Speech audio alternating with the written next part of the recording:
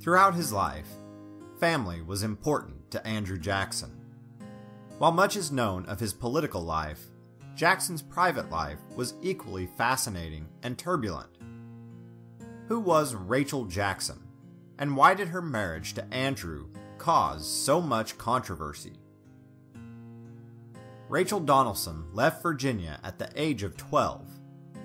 She traveled west along with her family aboard a flatboat for almost 1,000 miles to a settlement called Fort Nashborough, later renamed Nashville. Settling in 1780, the Donelsons were amongst the first white settlers of Nashville. A prominent and influential family, Rachel's relatives dominated much of the public and political power base of early Nashville. After her family moved to Harrodsburg, Kentucky, the 18 year old Rachel married Lewis Robards. Rachel's marriage to Lewis proved to be an unhappy one. Obnoxious and abusive, Lewis frequently accused Rachel of flirting with other men. As divorce was very difficult and unusual at the time, Rachel and Lewis separated. Rachel returned to Nashville where she met a budding young lawyer named Andrew Jackson. Rachel and Andrew instantly fell in love. During their courtship, Andrew and Rachel heard a false rumor that Rachel's husband had obtained a divorce. The couple traveled together to Natchez, Mississippi, and returned to Tennessee as a married couple in 1791. The Jacksons later discovered that a friend of Lewis Robards' had intentionally printed a false statement about Rachel and Lewis's divorce being official and that the proceedings had not been completed. By law, this made the newlywed couple adulterers and the marriage invalid. Lewis then charged Rachel with adultery, thus enabling their marriage to be terminated. Rachel and Andrew remarried in Nashville in 1794.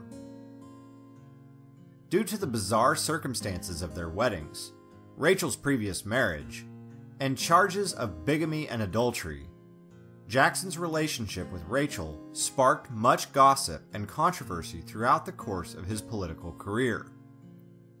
Jackson's opponents were always quick to seize upon the scandal for political fodder, and Jackson was always swift and severe in his defense of Rachel, even to the point of engaging in duels. Rachel, unlike Andrew, never enjoyed being a part of the public arena. She supported him in all endeavors, but consistently reminded her husband not to allow military victories, political achievements, and public fame to rule over him.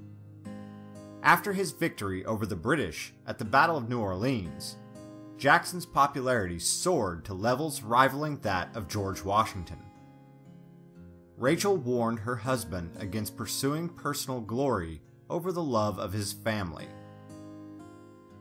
Although Andrew and Rachel never had their own biological children, they adopted three and provided care and guardianship for many others. During the time Rachel spent at the estate, children were a constant presence at the hermitage. After Rachel's sister in law gave birth to twins, Andrew and Rachel adopted one of the boys to raise as their own. Given the name Andrew Jackson Jr., the boy grew up at the Hermitage and went on to father five children of his own. Lyncoya Jackson became the second adopted son of the couple as a result of Andrew Jackson's military campaign during the Creek Wars.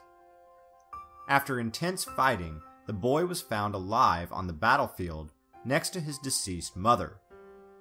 When the surviving women of the Creek village refused to care for the boy, he was taken to General Jackson.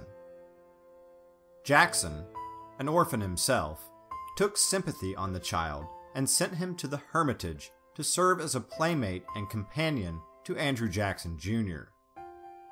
Over time, Jackson took a strong liking to the boy and hoped to send him to West Point Military Academy, where Andrew Jackson Jr. also attended. Unfortunately, Like many young people of this time, Lyncoya died a tragic death before ever reaching adulthood. The third child to be adopted by the Jacksons was Andrew Jackson Hutchings, the grandson of Rachel's sister. Orphaned before he reached the age of five, little Hutchings was raised and educated at the Hermitage alongside Andrew Jackson Jr. and Lyncoya. Hutchings went on to attend college in Virginia and marry the daughter of Andrew Jackson's close friend, John Coffee. Although far from being a traditional family, the love Jackson, his wife, and three adopted children had for one another has never been questioned. Despite the vicious attacks hurled at Rachel throughout the course of their relationship, Jackson loved his wife and children far too much to be ashamed of them.